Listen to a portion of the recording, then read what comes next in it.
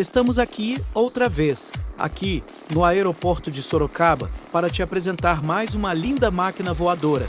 Se trata do Bombardier Global e seu lançamento. Se inscreva no canal, deixa seu like e vamos para o vídeo.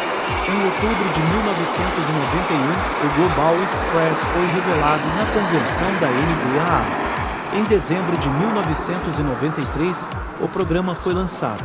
Em junho de 1994, sua configuração de alta velocidade foi congelada, enquanto a configuração de baixa velocidade foi estabelecida em agosto de 1994. Até então, a maioria das decisões críticas de projeto foram tomadas e quase todos os fornecedores foram selecionados. Em janeiro de 1995, a fase de definição foi encerrada antes da concepção pormenorizada. Em junho de 1995, o backlog era de mais de 40 aeronaves, esgotadas até 2000, levando a Bombardier a expandir seus primeiros planos de produção. No lançamento, o alcance foi estendido para 12 mil quilômetros, 6.500 milhas náuticas para superar o rival Gulfstream.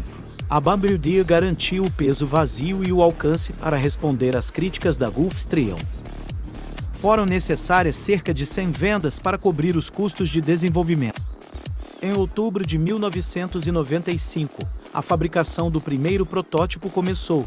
As primeiras sessões estavam previstas para dezembro, no de Havillands, em Toronto, com a montagem final começando em março de 1996. Em junho de 1996, o protótipo estava completo e realizando revisões de prontidão de voo antes de seu lançamento e primeiro voo. Em 13 de outubro de 1996, o primeiro protótipo realizou seu voo inaugural de Toronto, um mês depois do planejado, durando 2 horas e 46 minutos e atingindo 11 mil pés, 3.350 metros e 210 kN, 390 km por hora. O programa de testes de voo utilizou quatro protótipos, acumulando 2.200 horas de voo.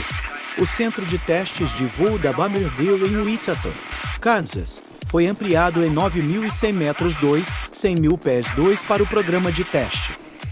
Em fevereiro de 1997, o segundo protótipo fez seu primeiro voo e o terceiro em maio de 1997. As primeiras 15 aeronaves deveriam ser entregues antes de janeiro de 1999. O Global Express entrou em serviço em julho de 1999. Se você gostou de nosso pequeno vídeo documentário sobre o Bombardier Global, se inscreva no canal do avião.